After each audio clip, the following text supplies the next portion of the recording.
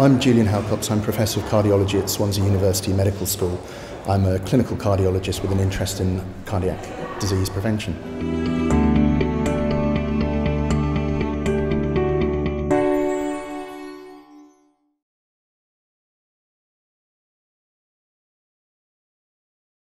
Okay, so HDL is a complex lipoprotein it's uh, epidemiologically there's a very strong relationship between levels of HDL, cholesterol, and cardiovascular events, with higher levels appearing to be conferring protection and certainly associated with a reduced risk of uh, cardiovascular events.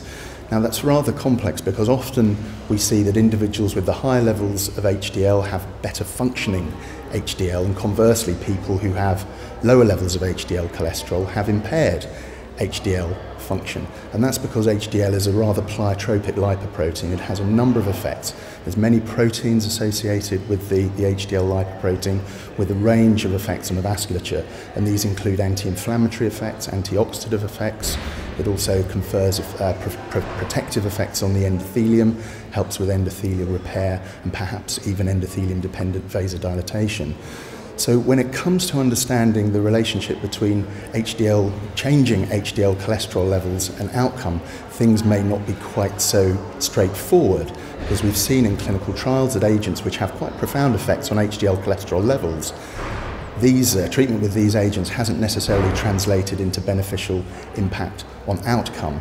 And that's because if we think of just HDL as a uh, HDL cholesterol as a marker of, of HDL function that's probably incorrect so having higher levels of HDL cholesterol doesn't necessarily mean the, that the HDL is working any better. And in fact, it's highly likely, given what we found out from the clinical trials, that the anti-inflammatory effects, antioxidant effects are very, very important in conferring the protective effect uh, of HDL that we seem to see in, in epidemiological studies.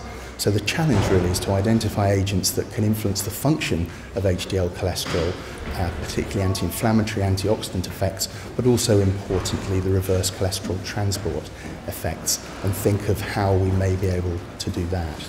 So just further to the idea of HDL cholesterol and its protective effect on atherosclerosis, it's important to consider the case of the ApoA Milano uh, variation of, of, of ApoA. Now this is a, a type of ApoA that was identified in a family uh, from Italy, from Limone sul Garda, and this, uh, the, the possession of this type of ApoA was associated with HDL that appeared to have extremely good reverse cholesterol transport capability. So interestingly, these individuals appeared to have very low levels of HDL cholesterol, but actually despite that. They had a very low incidence of myocardial infarction and atherosclerotic cardiovascular disease. And this appeared to be related to the ability of their HDL to translocate lipid from the periphery back to the liver for recycling very rapidly.